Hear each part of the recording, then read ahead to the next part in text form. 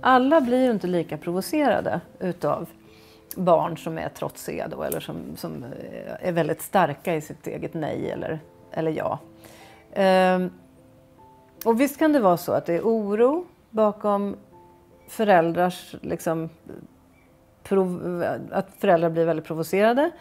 Det kan vara egen stress, livet måste fixas, vi måste ordna en massa saker, jag hinner inte, du får inte säga nej nu för vi måste dit och dit och så.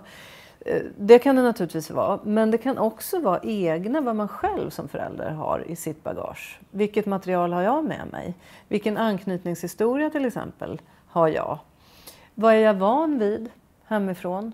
Hade jag en egen, eh, ett eget mandat och en egen självbestämmande rätt över mitt liv? Eller var det så att jag själv lärde mig att eh, på grund av vilka jag hade runt mig så att säga, som gick in och styrde mig väldigt mycket. Är det så jag är van vid att, att bli behandlad som barn? Så att det här med barns beteende och vad, vad det väcker hos oss själva, det kan ju gå långt tillbaka i vår egen historia.